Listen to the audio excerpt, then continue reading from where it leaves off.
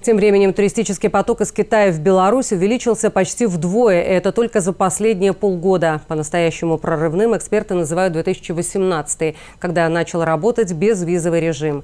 С середины августа можно прилетать через национальный аэропорт на срок до 30 дней. И 60 евро за это платить не надо. К тому же прошлый год был объявлен в Китае годом белорусского туризма. Как следствие, больше стало и прямых рейсов из Пекина в Минск трижды в неделю. Смотря по цифрам, которые нам предоставлены э, пограничной службой, мы видим, несомненно, рост э, количества китайских граждан, которые прибывают в Республику Беларусь.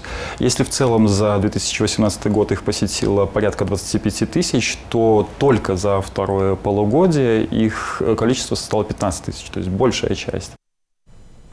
В топе мест, которые любят посещать китайские туристы, Беловежская пуща, Брестская крепость, замки в мире и не свежи. Особое место у так называемого красного туризма. Все, что связано с историей коммунистической партии, привлекает урбанизированных китайцев, белорусская природа и агроусадьбы.